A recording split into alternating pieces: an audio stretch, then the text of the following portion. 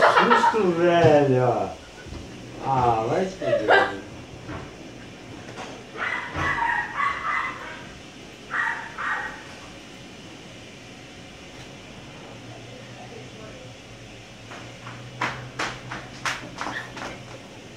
Eu tava fazendo uma missão tipo escondida, tá ligado?